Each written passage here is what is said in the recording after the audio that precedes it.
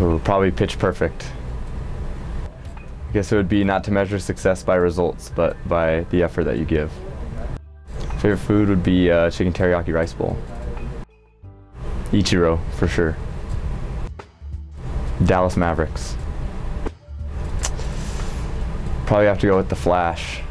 I would love to be a high school PE teacher, a special ed teacher, and an athletic director. Probably Tony Gwynn Jr. Tennis, for sure. Steve-O.